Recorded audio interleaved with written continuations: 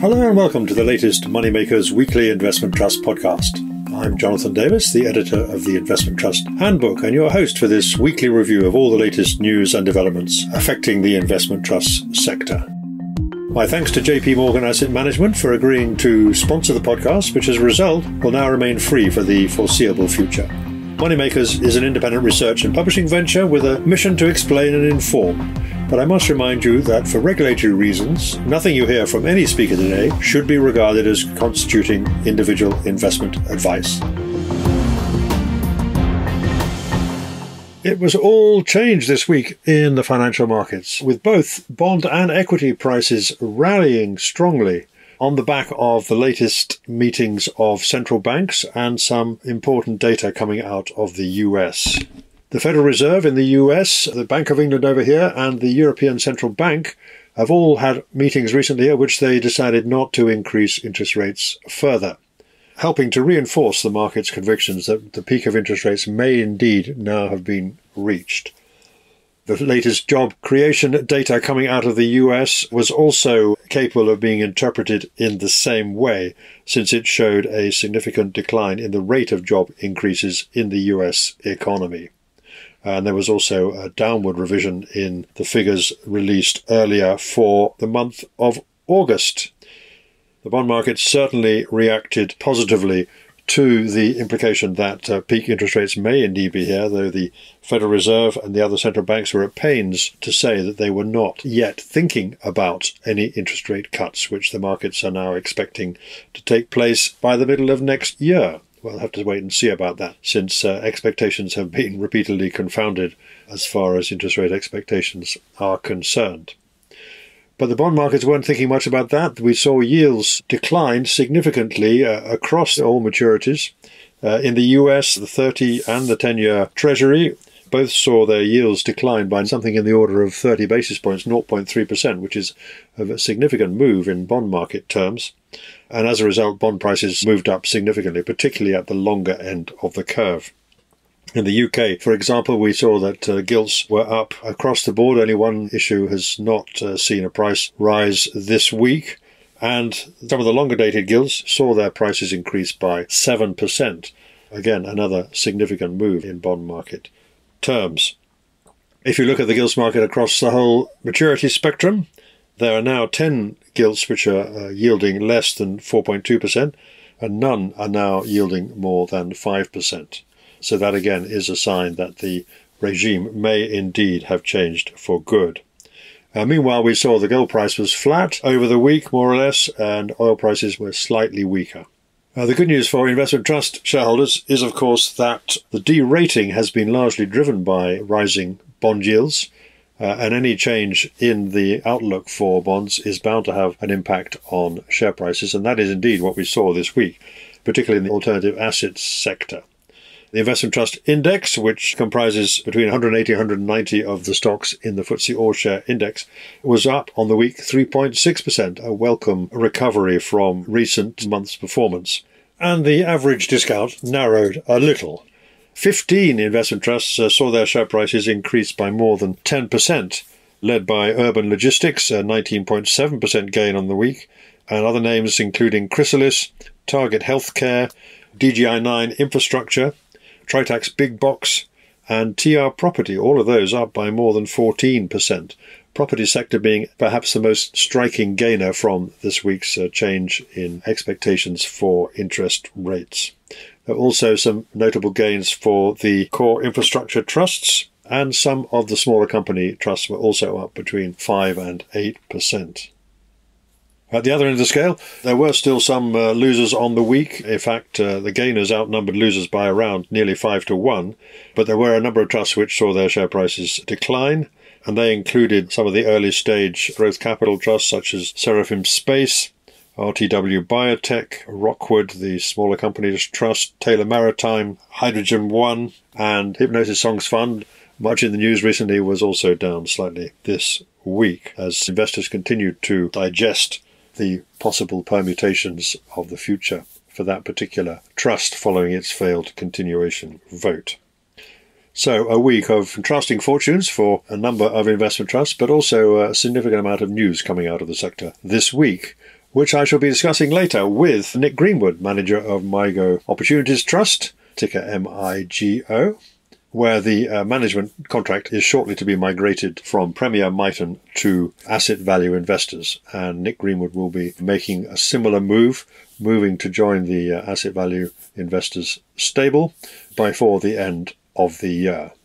Uh, MIGO Opportunities Trust, I probably don't need to remind you, is a trust that specializes in looking to exploit special situations and interesting discount opportunities in the investment trust sector.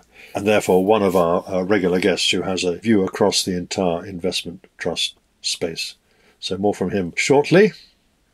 Turning to the main news this week, and there has been, I say, a series of significant and interesting announcements this week. Let's start with an update on Thomas Lloyd Energy Impact, ticker TLEI, which is no longer going to be called Thomas Lloyd Energy Impact. It has changed its name to Asian Energy Impact Trust, and its ticker is going to change from TLEI to AEIP for the sterling share class at least. The dollar share class is uh, AEIT now. The news from this one is that Octopus, which manages a well known renewable energy trust, Octopus Renewables, has been appointed as a temporary manager while the board seeks to sort out the mess at its uh, big solar project in India, which has caused its shares to be suspended for some time. The announcement said that Octopus have conducted a preliminary analysis of the project, the RUMS project as it's known, and concurs with the board's view that the net present value in other words, whether the returns from this project will be positive or negative. They say it's materially more negative than the estimate in the base case scenario that was uh, estimated before, which was 13 million pounds in sterling. That was based on a number of assumptions which may not now be met. Both the board and Octopus believe that, quotes, there is a reasonable likelihood of construction not being fully completed on time. So, what this means for the timetable for resuming a listing for this one is not entirely clear yet. But shareholders will be hoping for some positive news before too long, and in particular, whether this decision to go ahead with this project, despite the fact that it may well lose money, is still the best course forward for the trust.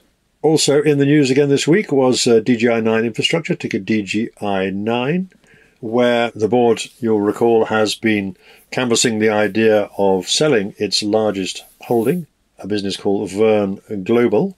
But uh, this has prompted a reaction from a group of shareholders uh, representing over 20% of the share capital and led by uh, Aqua Ventures, which is another company that DGI9 has invested in. They have told the board that they fear that the sale of Verne Global would foreclose, in other words, rule out the possibility of a sale of the trust itself as a whole, and risk value destruction by stranding the company's other assets. In return, the board of DGI9 said they'd uh, noticed the announcement from uh, Aquaventures and had responded by saying that its judgment continues to be that prioritizing a sale of 100% of Verne Global is in the best interest of shareholders because it provides the best opportunity to deleverage and improve cash flow. The problem in this case having arisen because the board's commitments to funding its assets exceeds its capability with the current state of its balance sheet. The board also said that it thought that uh, a strategic review, which is what uh, Aqua Ventures wanted, would be a distraction and risk disruption to the sale process for Verne Global. So the issue here is uh, whether or not their shareholders collectively are going to be happy with the proposal that the board is putting forward. We'll find that out in due course. On a slightly different tack, we heard from RTW Biotech Opportunities, ticker RTW, which is a trust that invests mostly in biotech early stage companies. It's more towards the venture capital end of the spectrum in private equity terms. Here it announced that RTW is far from selling assets, is actually agreed terms with another company called Arix Bioscience for an all share acquisition of Arix, which would have the effect of growing the market capitalization and the asset base of this particular trust. This would be affected by a scheme of reconstruction involving the winding up of Arix, but is conditional on regulatory and shareholder approval. If it does get that, the transaction is expected to complete in the first quarter of next year. If the deal does go through, then it will create a larger vehicle with combined assets of 450 million, which compares to the current market capitalization of RTW, uh, which is around 200 million. Uh, but it does trade on a discount of around 25%. So that would be a significant increase in size, which would have the effect, obviously, of reducing the ongoing charges ratio. And RTW estimates that the deal would lead to an expected NAV accretion of low single digits. Next, we can discuss the news from Troy Income and Growth Trust, where the board has announced that it's currently exploring possible options for a combination with another investment trust, which would be affected by a scheme of reconstruction. This trust has a market cap of around 153 million, and though it has an active discount control policy, which means that its discount remains in low single digits, it's been effective, but it has had the effect of shrinking the size of the trust. And furthermore, the amount of reserves that this trust has in order to continue its policy of buybacks, the amount of it is now near depletion, and the fund is close to using up all its buyback authority. So what's going to happen here is that the board has uh, suspended the discount control policy until the details regarding the proposed merger with this other party, uh, we don't know who it is yet, will be announced by the end of November. Though the board says there's no guarantee that any scheme will in fact be agreed. So more consolidation there. More news too from Biopharma Credit, ticker BPCR and BPCP. This is a debt trust that uh, lends money to biotech companies and pharmaceutical companies. The board here has announced that a continuation resolution has been triggered because at the end of October 2023, the discount at which this particular trust has traded has been wider than 10% over the previous 12 months, which is the trigger for a continuation vote being required. This will be an interesting one. It will be uh, voted on at a general meeting uh, before the end of the year, and the board says that it will be recommending that all shareholders vote in favour of continuation. And a second continuation resolution will be presented at the AGM in 2025, assuming that the first one passes, of course. Now, this one is interesting because uh, Biopharma Credit has seen its discount widen significantly since the start of the year. It's currently trading at around a 20% discount, which reflects uncertainty over the outlook for a number of its holdings, but particularly its largest holding, uh, which consists of loans to a company called Lumira DX, uh, which accounts for more than 10% of the total portfolio. Now, this particular loan to Lumira DX has been troubled. Uh, it's been amended several times as the company has been unable to meet its uh, requirements under the lending agreements that it has. But there has been some significant developments there at the company recently, including that the managers, the CEO and chairman, the chief technical officer, and the chief scientist of Lumira DX have resigned. So, in other words, the entire uh, top management of the company has resigned. And they say that is in order to avoid potential conflicts of interest, which I think the market has interpreted meaning that there's going to be a transaction in this particular company, either be sold or, or wound up uh, we don't know which it is, but it obviously has run into uh, financial difficulties. Uh, it is a signal that this uh, particular problem issue is approaching its end game. But the question, of course, is whether or not this continuation vote will actually happen before the situation at uh, Lumira DX has been finally sorted out. Obviously, it will be difficult for shareholders to vote in a continuation if they don't know exactly what's happening to their largest investment in the portfolio. The shares in this one were largely unchanged on the news. We uh, heard further news from US Solar, ticker USF, which is one of the smaller renewable energy infrastructure trusts and one which has therefore been considering its future.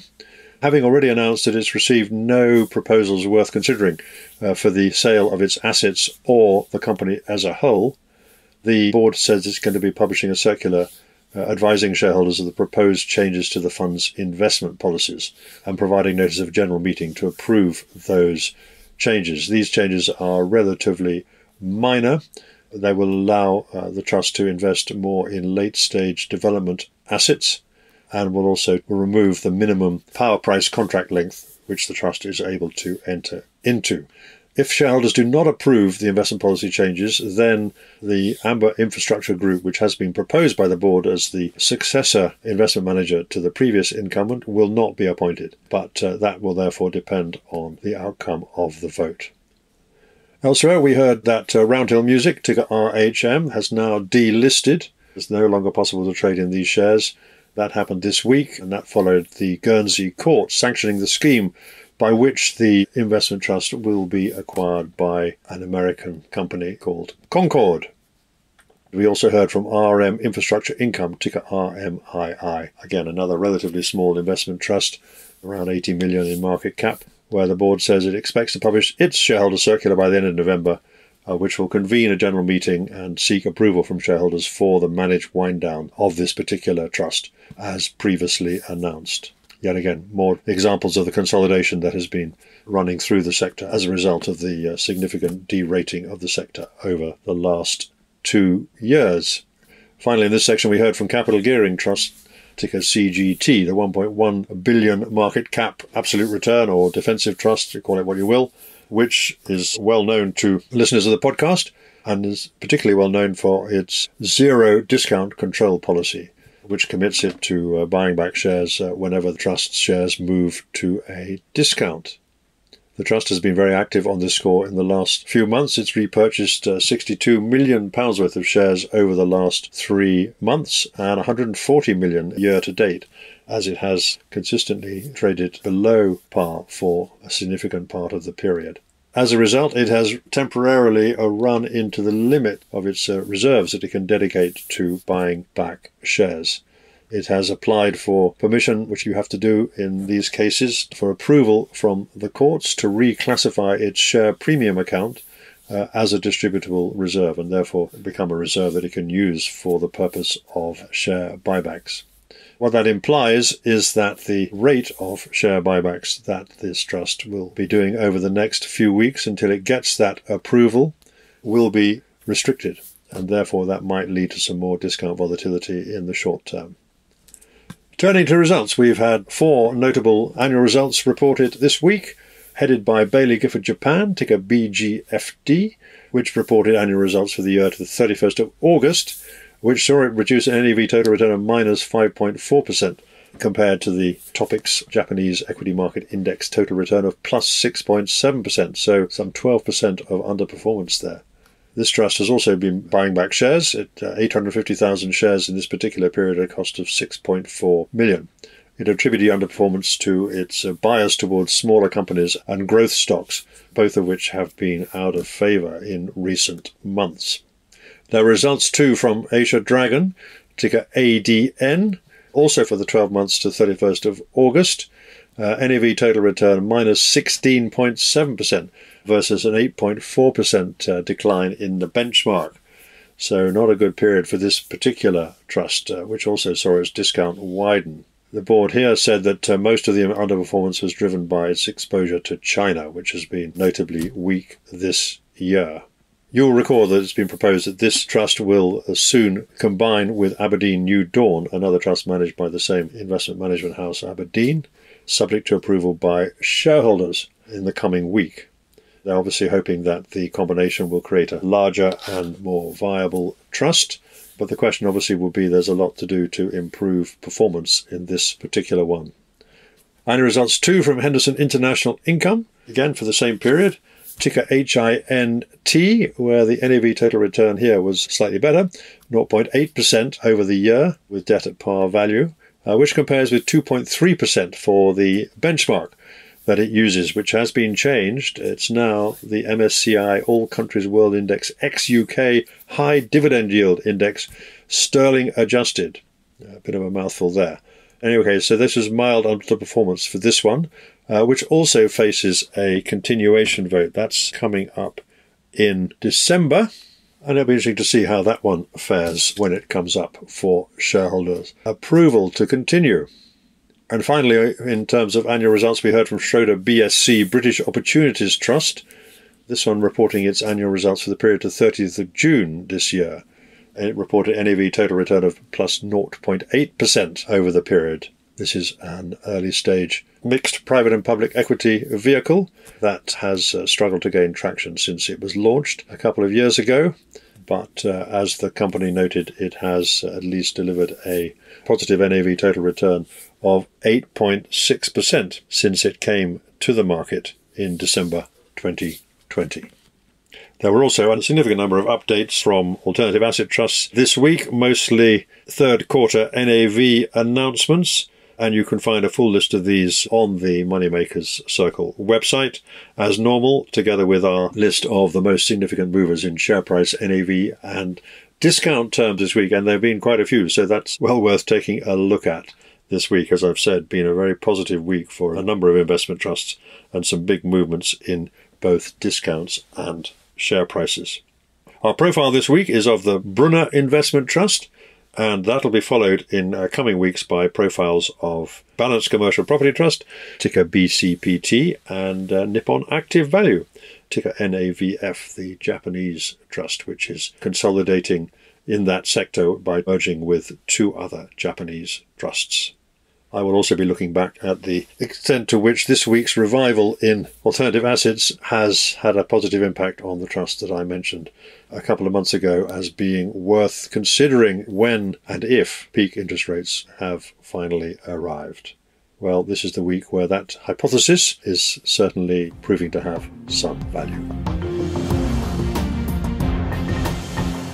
So it's been quite an exciting week in the investment trust sector. A lot of movement picking up on bond yields changing uh, direction this week. So my first question to Nick Greenwood was, what does he make of the most recent uh, developments in the markets? They don't entirely come as a surprise to you, I think. No, I think you know there's been a lot of fear around, and uh, once you get a little bit of fear, that uh, depresses prices. And I think the expectations may be that interest rates have peaked. We've discussed this before, but it does show what a difference it would make to ratings and valuations. Right. So a lot of things which are deemed to be interest rate sensitive, mm. like property and uh, infrastructure, mm. and exactly those two. Yeah. Yeah, they sort of bounced up nicely on Thursday after the latest announcements from central banks. So, well, if it does stay the same, do you have a view about whether it's going to sort of stay at this high level, higher for longer, or do you think we're going to go back down again and maybe if we run into a risk of recession or some such? Do you have a view on that?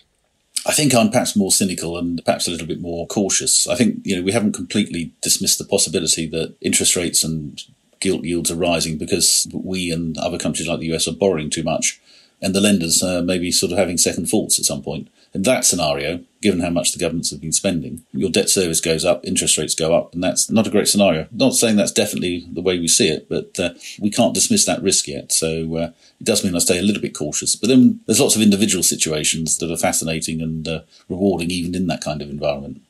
Well, let's talk about some of those then. Why don't we start in the alternatives because obviously that's been in the eye of the storm, if you like, in terms of discount widening as interest rates have risen and may now be pausing.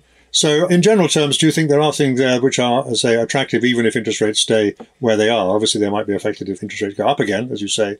But in general terms, looking at the sectors of property, infrastructure, and so on, do you think that, if you like, the discounts have been overdone anyway? I think they're having alternatives, and that's partly because there's an oversupply situation. A lot of these trusts were launched to sort of solve yield starvation, you know, to offer advisors a way of getting their clients an income at a time when deposit rates were virtually zero. So roll the clock on to where we are today, you can get comfortably over 5% on a gilt. So that undermines the demand for, say, an infrastructure fund yielding 5%. Maybe that has to yield 7 or 8, and that's quite a steep fall in the capital value. And relative to what you could sell the underlying assets for, those share prices look overdone to the downside. Well, let's talk about one or two individual names then within these sectors. Let's start with um, Aquila European Renewables. They made an announcement this week. I think you are an investor in this one, I believe. Yes. What do you make of uh, what they had to say this week? They didn't say that much, actually. The NAV had come back a little bit. I mean, I think what we're seeing in all sorts of areas is power prices declining. So it's good that there wasn't uh, too much bad news along with the numbers. They've upped their um, discount rate, which is good because interest rates have risen, and uh, there are a number of trusts that have kept their discount rates on the face of it rather onto the small side.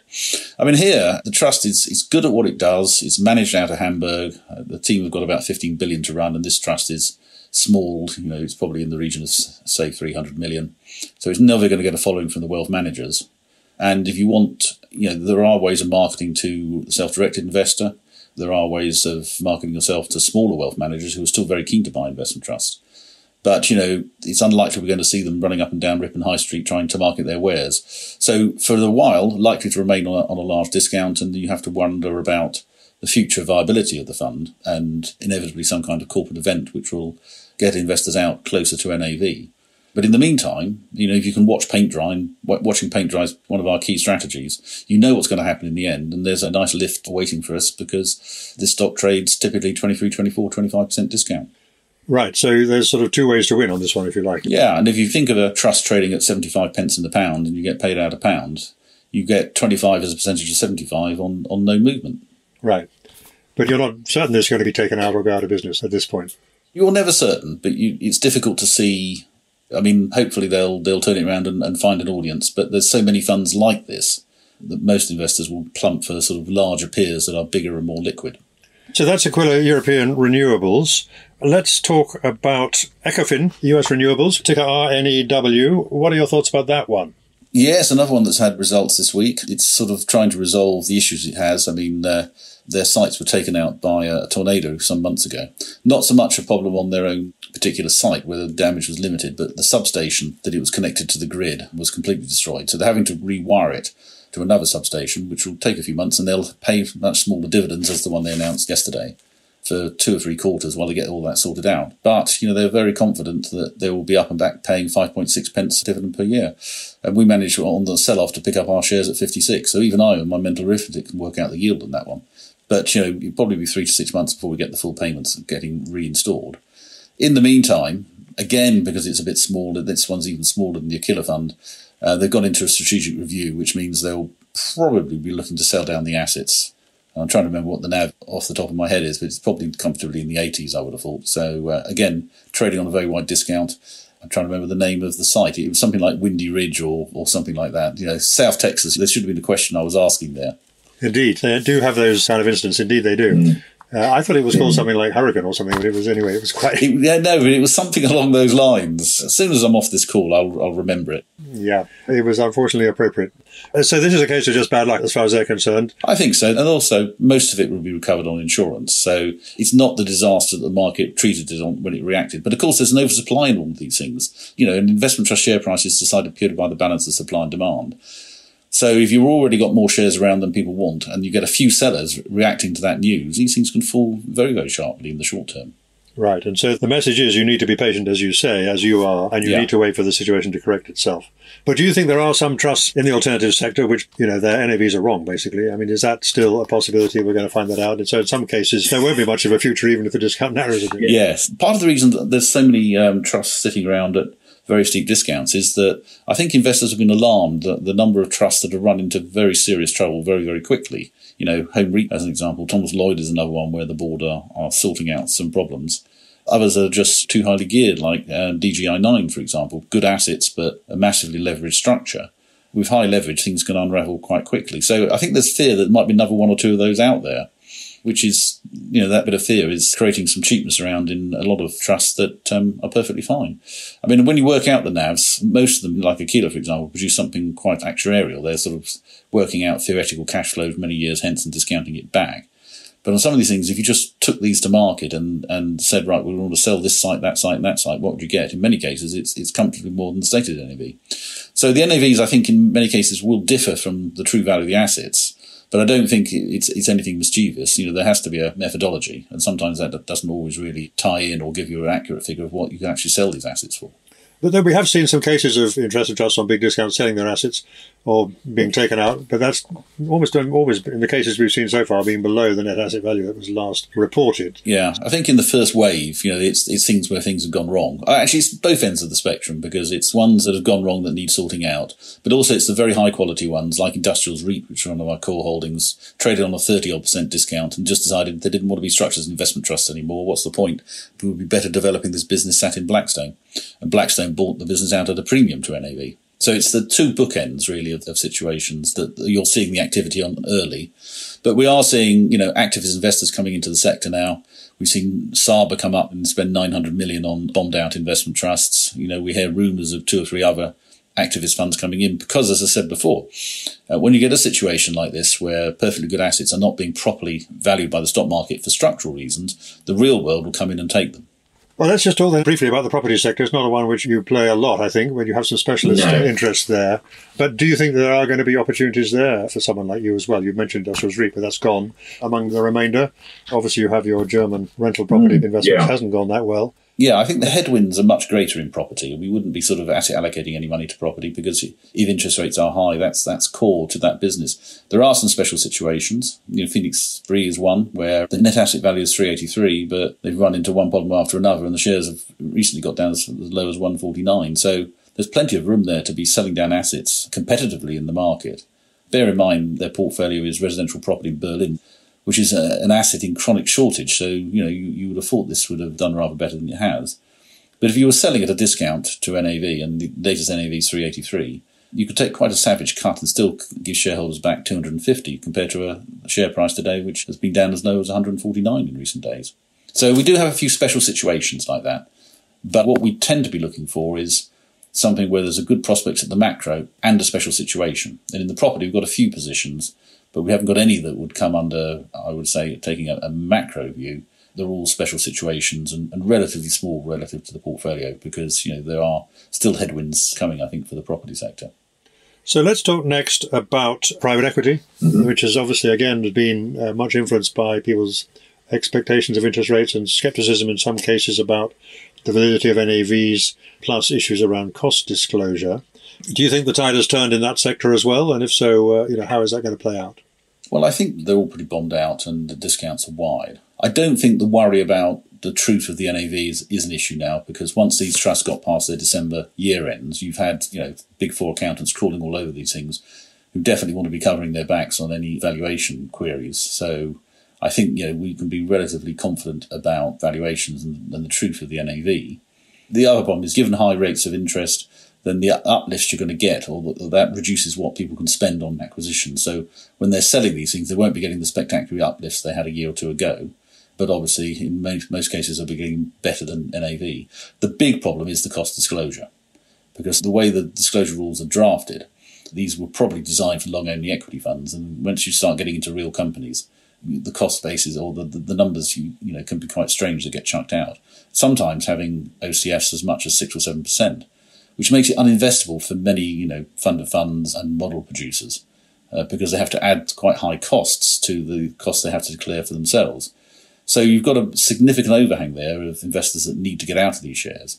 And you know, Pantheon came up with a good move and bought back a lot of stock because that would have cleared the overhang because let's say it was 15% in a particular trust, probably half of those are already gone, but the share price is not going to recover until all those sellers are off the share register. And the well-timed buyback in the current you know market environment would be a nice catalyst to get that sector moving back to a more typical rating. You know, more typically over the years, you'd expect those trusts to trade on around a 15 or 20 discount rather than 30 or 40 as they are at the moment among the bigger ones, you own uh, NB Private Equity.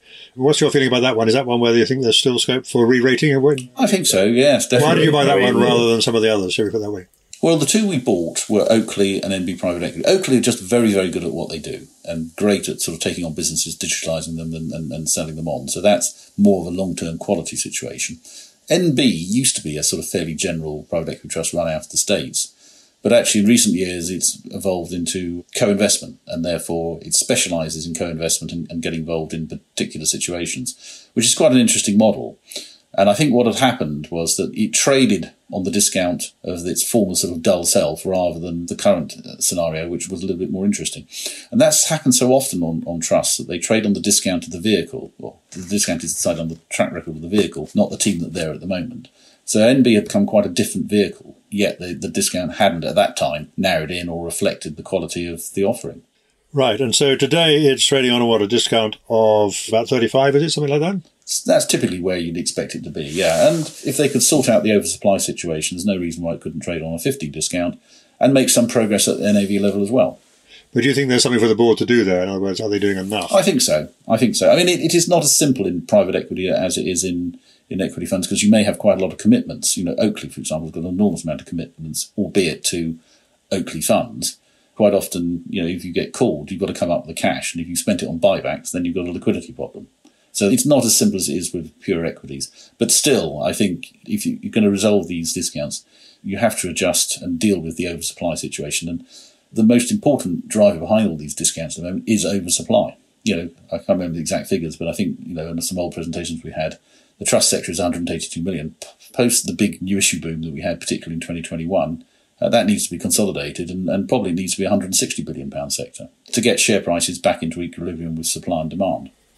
Okay, so if we look at some of the more, if you like, the kind of earlier stage high risk investment trusts uh, mm-hmm. out there. So this week, Chrysalis has gone up quite a lot this week. That used to be one you owned. Mm-hmm. And also uh, thinking about slightly different sector, of course, RTW Biotech mm-hmm. Opportunities, which uh, this week has put out some news suggesting that it wants to basically merge or take over another trust. What do you think about those two situations? I mean, obviously, one I think you have been in, the other you're probably not in, or, or maybe I don't know. Oh no, we, we have a small holding in both. They're both ones that we're sort of incubating, shall we say. We think they could be interesting. Sometimes we just like to have a few shares while we learn about the situation, although we know a lot about Chrysalis over the years. There, I think, could be quite interesting because with all these early stage type investments, fairly soon you get to the point where they're going to be a success or a failure. And you can see in the Chrysalis portfolio, the top four, top five represent a very substantial part of the portfolio now. And if their momentum carries on, they'll be rising in value at a much faster rate than the, than the rest, or the rubble, if you like to say, which is then by definition become much smaller and then carries on shrinking. You know, has a much smaller negative effect than the positive effect, if you sort of mean. Unfortunately, the top four, top five, there wasn't much change in the valuation. There was a write down in one of the stocks further down the list, but we weren't really seeing progress in the leaders like WeFox and Starling Bank, for example. But certainly they weren't being written down either. So I think on that one we're we're staying a watch. We've got about a one percent position. It's trades on an enormous discount, and at the moment the market still doesn't like early stage. But clearly there's a hell of a lot of bad news in that price. And also this is one of the sort of stocks that where people just want it off client portfolios. They don't really want to be talking about it, you know. And therefore, there's quite a lot of stock becomes available um, from people who are selling for non-investment reasons. And we always love it when you know people will sell a stock for non-investment reasons. RTW very early actually. You know, we were quite impressed. we did a meeting with them.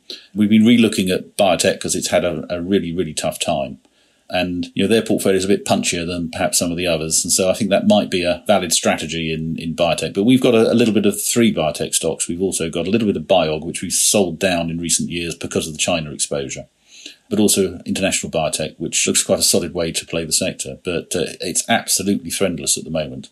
And trading at sort of 20, 25 year lows at a time where the fundamentals are actually quite good. There will be more drug approvals this year than almost ever before. So it's it's really a case of a lot of biotechs are small caps, and small caps are definitely out of favour at the moment. So I mean, one or more of those factors could reverse. Uh, yeah, absolutely. That's why we're in. Yeah, exactly. Yeah, this is where instead of being patient, you have to be very patient. Is basically what it is. yeah. okay, so what about DGI9? Do you have any specific views on that one? I mean, other than observing. No, not really. I mean, I think from what I've seen, I have looked at it a couple of times, but I sort of term ourselves allergic to debt because in previous crashes, you know, things happen very, very fast. And uh, once you've lived a few things like that, then perhaps you're rather nervous of high levels of leverage. I mean, the, the model for a lot of these alternatives is to keep issuing stock at a premium and then build out your pipeline. And they got into a situation where their shares had dropped to a discount, so they couldn't raise the money to um, complete the purchase. I think it was Arqiva.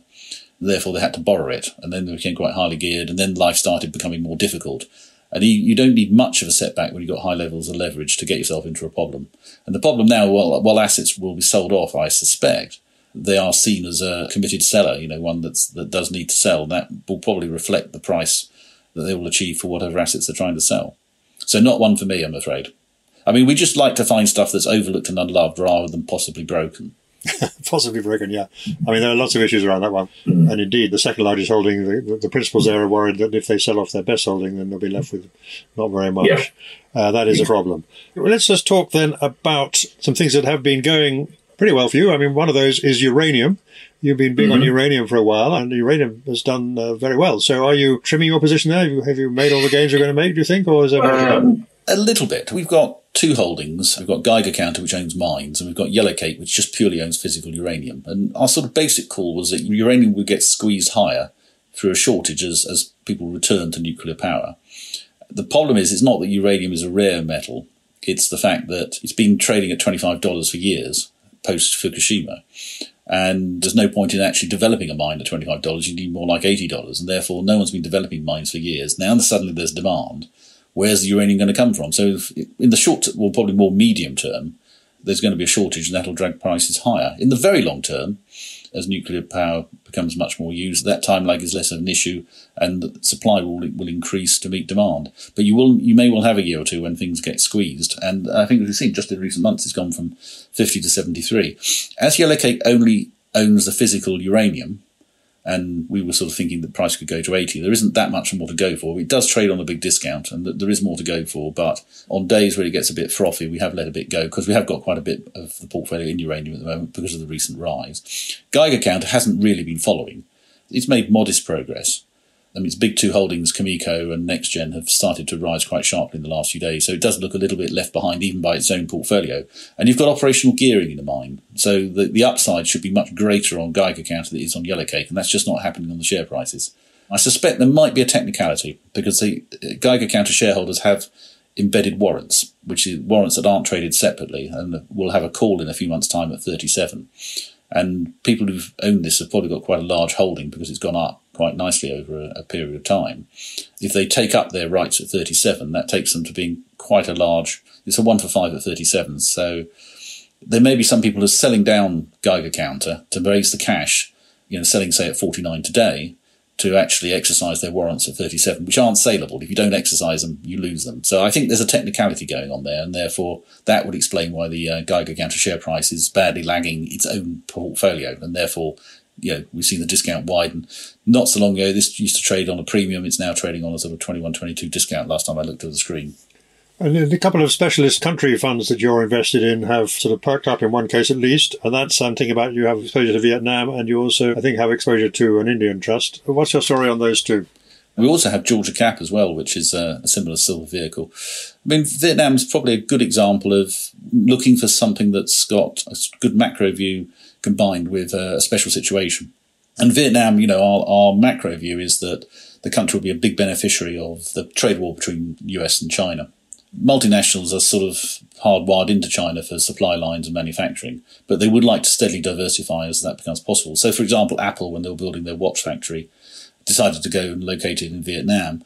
Could have easily gone to India or Mexico, with the other two countries that are big beneficiaries from that. So there's a big structural positive behind Vietnam looking forward. In the short term, Vietnam is very much exposed to the global economy, so any slowdown there hurts it in the short term, which providing an opportunity to get in. The market had a wobble last week or the week before last. You know, it's a, it's a strange stock market because it's 95% retail, and most of these retail investors deal on margin, which is borrowing money to buy shares. And as soon as they get spooked by something like a scandal in the property sector, as they have recently, and all start selling, then they have to sell more because they borrowed money. So they have to raise sales to pay off the borrowings. And therefore, sometimes out of the blue, you can have sickening falls in, in the Vietnamese stock market on absolutely no news. So we've had one of those episodes of late. But in the longer term, we think that the macro is a big positive. The special situation on Vietnam is that you go back to, I think, around 2005, briefly, Vietnam was the hottest destination on the planet. And there's some investment trusts launched at that time and raised absolutely insane amounts of money. And the legacy of that is that trusts like VOF and VEIL are FTSE 250 constituents in their own right, dwarfing demand from UK investors for Vietnamese assets. So that's how it ends up trading on a 23% discount.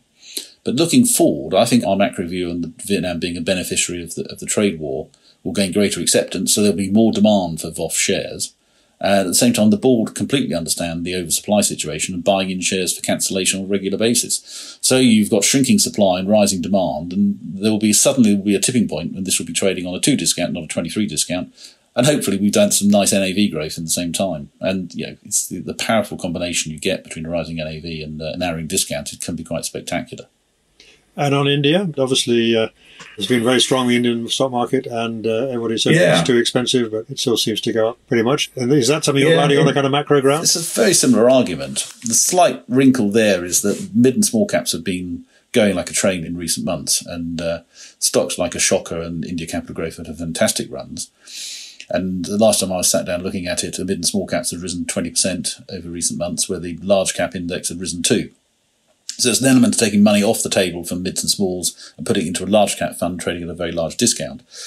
So that's the sort of the macro view. The special situation view is it, it you know typically trades on around a 20 discount, but there are windows every five years, and if they underperform, they've got to give 25% back, and that's at NAV. So the new team that have taken over the fund probably came in maybe three and a half years into the windows, already hopelessly behind the figure. So unless it performs like an absolute train over the next year or so, then they're going to have to give you back 25% of your money at NAV. So that's really more like a, a 25% discount you're buying in at rather than the 20% discount that it appeared to be. So, yeah, a bit of a special situation there. And then we have been sort of shunting around our um, Indian positions. Well, finally, then, Nick, obviously it's been a very tough year and you've not been immune from that. You've had obviously these mm. successes, uh, which mm. we've talked about. But the trust itself, well, it hasn't performed as badly as the index, I'll put it that way. But it mm-hmm. has, yeah. it is down over the uh, the last 12 months and year to date uh, because you had the impact of discount widening, essentially. Mm. So where does yeah. the trust go next? I think we should mention, obviously, that the trust will be moving home, so to speak. It's being moved from Premier Miton to uh, asset value investors who are very much also in the game of looking for discounts on discounts and special situations. What would you say to people who uh, follow your trust? You do have a big retail following yourself. What would you say to them? Yes, well, I mean, it's getting a bit boring saying we're less worse than everyone else because, I mean, you look at the decline of a couple of percent or whatever over the last year, and then you look at the index and think that the University of Investment Trust has taken a, a sickening fall. So we, we've dodged a lot of bullets, but hopefully we're moving to a more exciting phase. I think what we'll find, you know, as I said before, that if the stock market can't value things properly, the real world will come and take it. And, you know, we've already seen Saba, as I said, coming in with 900 million buying up bombed up investment trusts. But I'm sure there'll be more, many of them US activist investors piling into the sector and exploiting some bargains. And I think, you know, we're talking months rather than years away. I think this could all happen fairly quickly. So a lot of activity, a lot of corporate activity in the sector. So yeah, I mean, you can't, the discounts are so wide that they're not sustainable because, yeah, as I said, people will just come and take these assets, the ones that are good and um, some tidying up of some of the difficult positions as, as well. So, yeah, no, I think it could be quite busy and quite exciting time in the coming months. I did read somewhere that you said that uh, this is probably the best time for buying into investment trusts that uh, we've had for a, a, long while anyway, and that's because of these discounts, essentially. But yeah. you, uh, you stick yeah. to that view? Yeah, no, I think we'll look back to the autumn of 23 as being a golden moment to have bought into share, you know, bombed out investment trusts. I think there is fear around because we can't really explain how a share price can get so low relative to its perfectly decent assets that we can value. And so it's got to be fear that people are worried there's a, another DGI 9 out there or there's another home REIT and that fear is stopping people from stepping in. And also, the oversupply situation is quite extreme, and, and that is probably the most important factor behind these discounts. So, uh, yeah, so, so we've, we've got to a position where the rest of the world has suddenly noticed the trust world and is about to arrive. A bit like the Vikings did many centuries ago. Just before my time. Yeah. so anyway, so the story is, uh, as far as the sector as a whole is concerned, less is more, basically. We want to uh, eliminate that oversupply situation by shrinking the sector yeah, the sector probably needs to shrink in the short term, initially by buybacks, but if, if trusts are fairly slow to get involved in buybacks, there is the risk that someone does it for them. One way or the other, the sector keeps evolving and has over the centuries, and um, yeah, this is the latest chapter. So that was Nick Greenwood, manager of MIGO Opportunities Trust, uh, striking an optimistic note about where we are in the cycle. Thank you for listening. The Moneymakers Weekly Investment Trust podcast is independently produced and edited and is listed on all leading podcast channels. You can also sign up at the website money-makers.co to be notified every time a new podcast is available.